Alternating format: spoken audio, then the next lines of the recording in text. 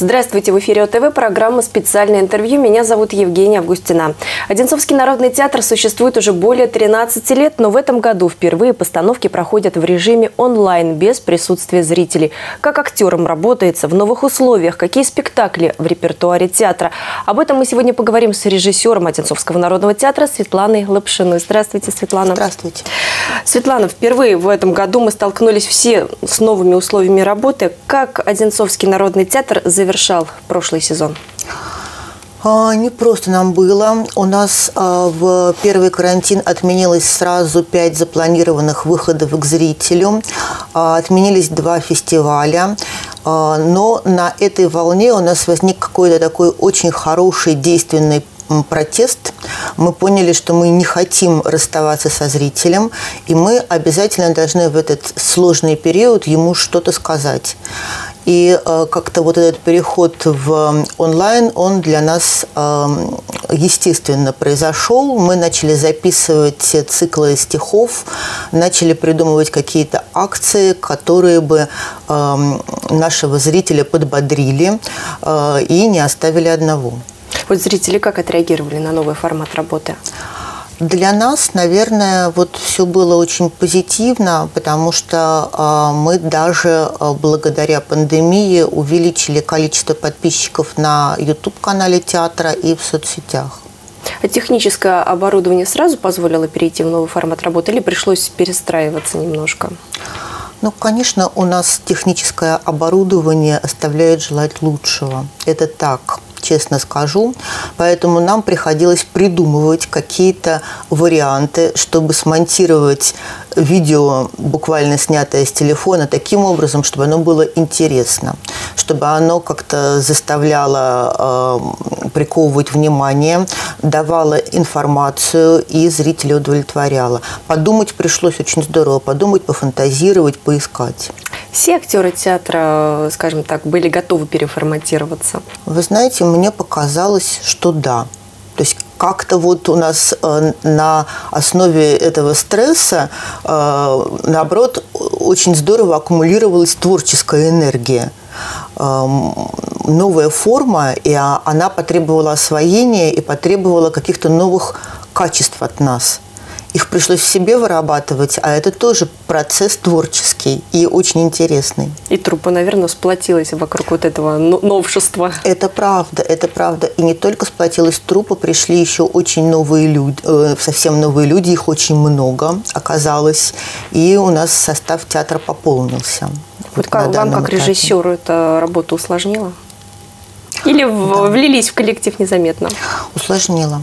Усложнило и очень здорово, потому что вот сейчас эм, обилие новых людей, нужно все внимание дать на них, э, дотянуть их до эм, качества старого состава, ну и как-то придумать для них работу, э, ввести их в старые спектакли, дать им новую историю какую-то. Так что времени, сил отнимает больше, безусловно.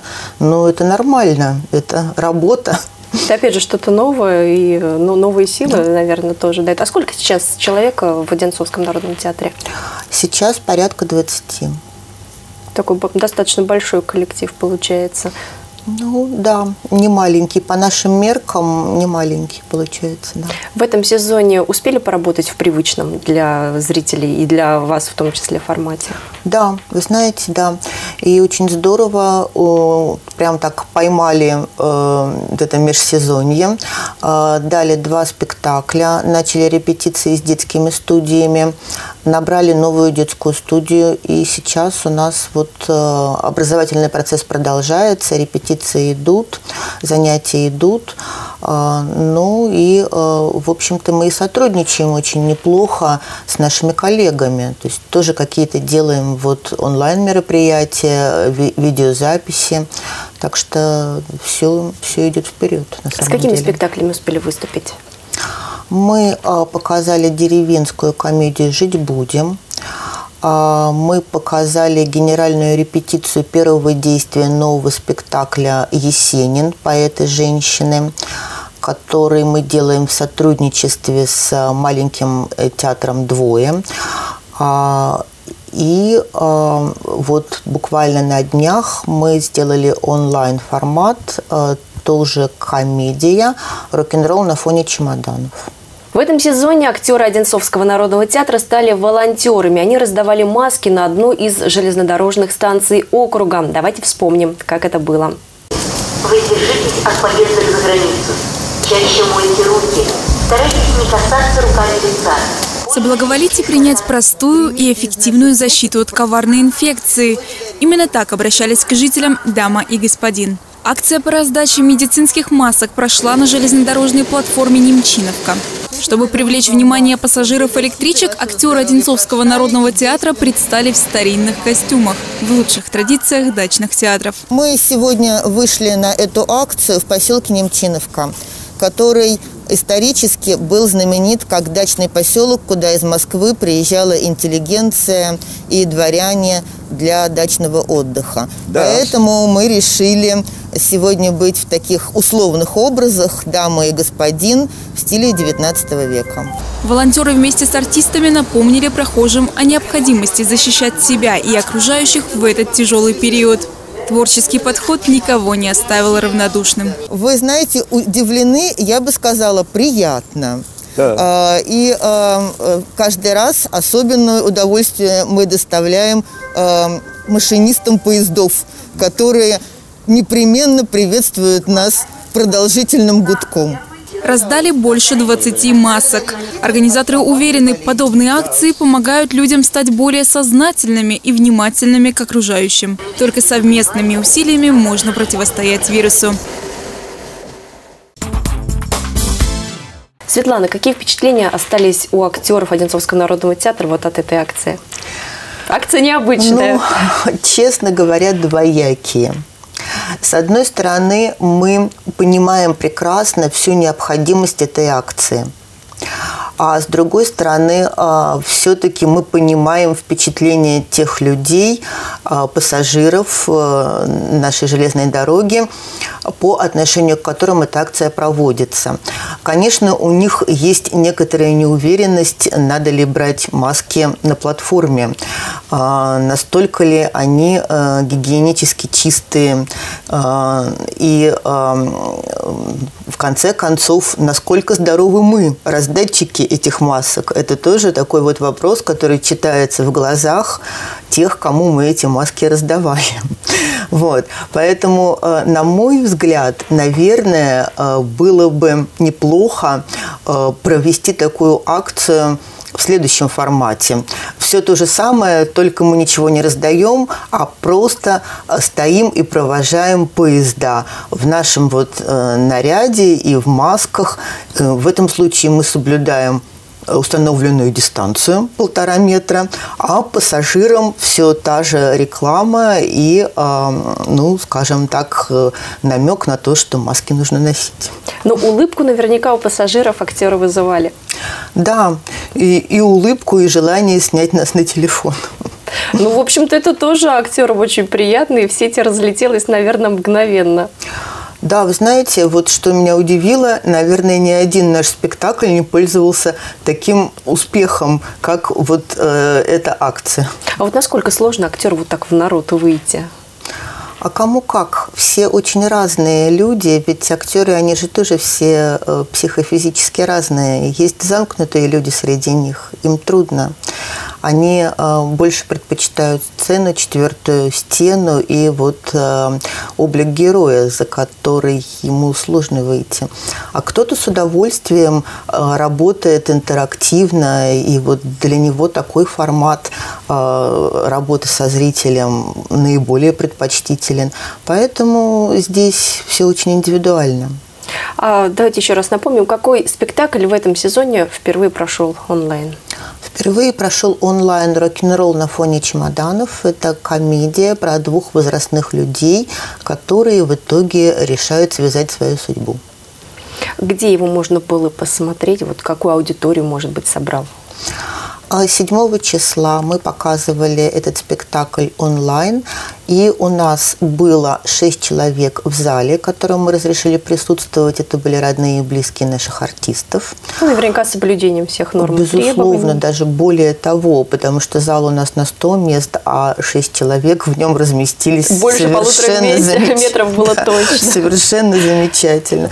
Вот. э, И э, 12 человек вышли в прямой эфир и поддержали нас. Мне кажется, это неплохой итог.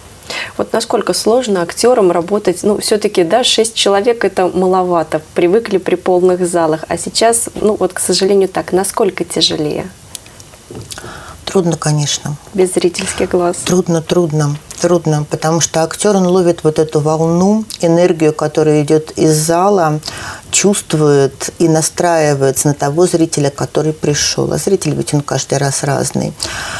Ну, э, что делать? Мы вообще как-то вот э, наш театр, он вообще такой экстремальный, привык работать в экстремальных условиях. Мы не ищем легких путей, будем осваивать и такую жизнь тоже. А на какой площадке сейчас работаете? Мы работаем на площадке Немчиновского культурно-досугового центра и э, работаем там уже давно, являемся театром на базе этого Дома культуры.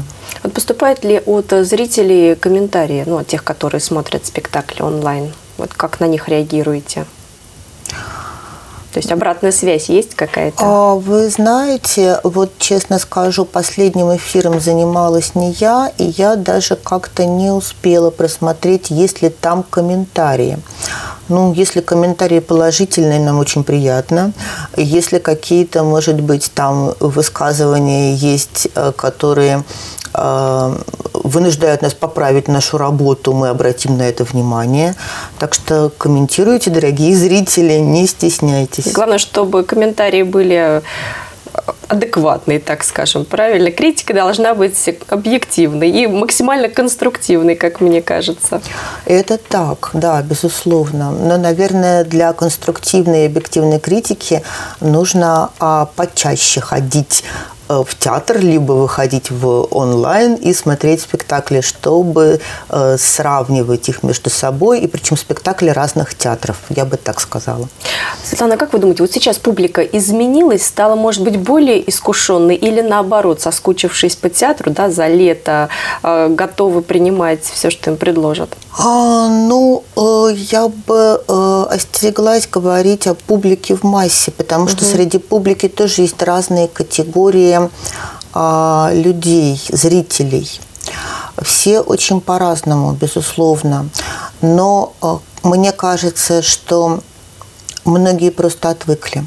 Отвыкли э, идти в театр, отвыкли что-то смотреть, занялись домашними делами, как-то сосредоточились на себе. Это тоже хорошо, это такой период. Это такой период. Зритель, безусловно, вернется в театр, обновленный, э, желающий что-то получить э, от театра, и вернется взыскательный. Я вот в это верю. И нам это только в помощь потому что должен быть требовательный зритель. Вот это, в этом я уверена. Так интереснее, наверное, работать. Да, так интереснее, и это развивает коллектив. Это развивает творчество и ведет э, от творчества к искусству. И какие спектакли сейчас у вас в репертуаре? Сейчас у нас вот э, главная работа – это спектакль «Есенин. Поэт и женщины». Мы работаем над ним уже год. Э, Очень надеемся его выпустить к концу года, но если не получится, тогда в начале следующего. Но и текущий репертуар. Вот э, перед пандемией мы э, сделали премьеру спектакля по Островскому «Праздничный сон до обеда», где главный герой Бальзаминов. Очень интересный спектакль, очень интересная концепция. Пытаемся сейчас его восстановить, потому что в связи с пандемией у нас произошли замены в актерском составе. Ну и играем текущий, да, репертуар Пушкина, Островского, все, что у нас есть. Ну, я так понимаю, что традиционный конкурс про самообаятельный Баб Яга тоже проводится. Да, он пройдет опять же в видеоформате. Нас это немножко огорчает. Ну, и огорчает наших участников. Но мы понимаем, что нам придется принять такое жесткое решение и провести его так. Или просто у нас есть риск не провести его в этом году. Ну, зато в этом году можно по-новому подойти к привычным этапам конкурса, наверное, да. так? Да, конечно. Расскажите, пожалуйста, поподробнее про этот конкурс, кто в нем может принять участие и что участники должны показать взыскательному жюри. А, этот конкурс юмористический, он посвящен памяти замечательного актера Георгия Францевича Милляра, неподражаемому исполнителю Бабы Яги в нашем э, советском кинематографе. А, ну и мы предлагаем нашим участникам а, придумать грим, костюм, историю свою собственную Бабы-Яги. А, они могут заручиться группой поддержки, помощниками и предстать перед изумленной публикой в таком сказочном образе.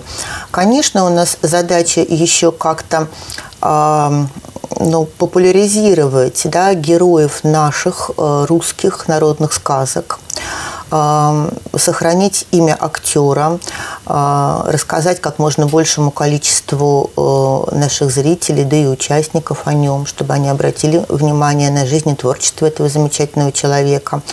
И э, где-то даже вот это такая маленькая альтернатива э, зарубежному празднику Хэллоуин. Вот вроде бы Баба Яга нечистая сила, но она какая-то очень своеобразная нечистая сила, потому что она не только вредит, она помогает. Ведь мы же в основном знаем, что в русских народных сказках именно к ней обращаются за помощью. Я думаю, вот это очень интересный момент, который надо как-то поподробнее нам всем изучить, исследовать. И вот этот персонаж очень неоднозначный. В общем, образ, да, Бабы Яги не так просто, как кажется. А получается, у участников конкурса, удивляйте вас, из года в год, ведь конкурсу достаточно много лет. Получается еще как люди просто вот они, у них неистощимая фантазия, они там все такие мастера, когда хотят что-то придумать, когда загораются вот этой идеей, они сочиняют такие э, удивительные вот э, выходы на публику. Да, конечно, это, это очень здорово. Когда очень. итоги конкурса в этом году будем подводить? А, я думаю, что в конце ноября мы подведем итоги, опубликуем в соцсетях, но как только отменится карантин, мы сразу же пригласим наших участников на сцену и устроим такое маленькое шоу «Бабы Яги», где они наконец-то смогут показать свое представление, свои визитные карточки и заручиться симпатиями публики, ее поддержкой и аплодисментами. Светлана, можно говорить, что вот тогда же э, снова будут проходить экскурсии, которые по Баковке вы э, вводите по тем местам, которые, ну, можно смело, наверное, назвать историческими? Да, э, по поводу экскурсий, их можно, наверное, и сейчас уже э, как-то организовывать, и мы к этому готовы. Вот. Но э, пока мало обращается э, потенциальных экскурсантов, если у кого-то будет такое желание, кто-то готов вот выйти на такую прогулку, пожалуйста, мой телефон, почта в соцсетях есть, обращайтесь. Все на свежем воздухе, правильно? Конечно. Во-первых, на свежем воздухе. А во-вторых, очень интересно. И я с удовольствием прогуляюсь еще раз по любимым местам моего города, расскажу о нем. Вот можете вкратце рассказать, а, на что обращаете внимание экскурсантов? Ну, во-первых, на то, что среди нашего большого растущего города остаются такие маленькие поселочки, которые э, хранят свои тайны и не раскрывают их до тех пор, пока э, сам человек не захочет что-то для этого сделать, узнать, пройтись, хотя бы прийти в это место и задуматься, а что здесь было. Вот. Ну и, конечно, я обращаю внимание э, экскурсантов на э, прошлый вид города. Ведь, ведь когда-то наше Одинцово, оно выглядело именно так. Оно было деревянным. Так что можно представить, каким был город, пройдясь по вот этим маленьким поселкам, которые, слава богу, еще остались в черте нашего Одинцова. И будем надеяться, что сохранятся, еще, может быть, внуки наши посмотрят и узнают что-то новое, и на город по-другому посмотрят. Конечно, я очень в это верю. Нам просто нужно это сохранить. Ближайший спектакль когда состоится? Вот вы знаете, я пока не скажу. Следим не за афишами скажу. в социальных да, сетях. следим за афишами. И я бы просто еще вот хотела отметить а, наше сотрудничество замечательное с Одинцовским а, музеем, а, где мы также записали этим летом цикл виртуальных экскурсий.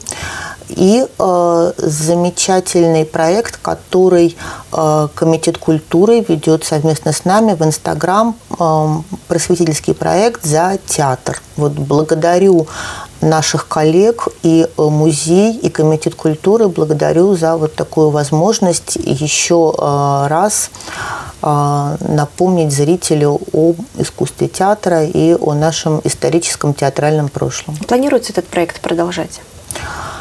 А, В Инстаграм, да, планируется. И а, вот нам очень отрадно, что председатель комитета по культуре а, Ирина Ватрунина в этом направлении ряд просветительских программ курирует и как-то инициирует их. Спасибо большое, Светлана, что пришли к нам сегодня в студию. Вам вдохновения. Очень хочется пожелать всем нам, чтобы скорее эпид-ситуация позволила зрителям ходить в театр, а актерам выступать перед живым зрителем, потому что все-таки это очень важно. Театр – одно из древнейших искусств. И, конечно, без зрителей очень сложно представить себе сцену и зрительский зал. Спасибо большое, что пришли к нам сегодня в студию. Спасибо всем, кто провел свое свободное время вместе с нами. Берегите себя. До новых встреч на ОТВ.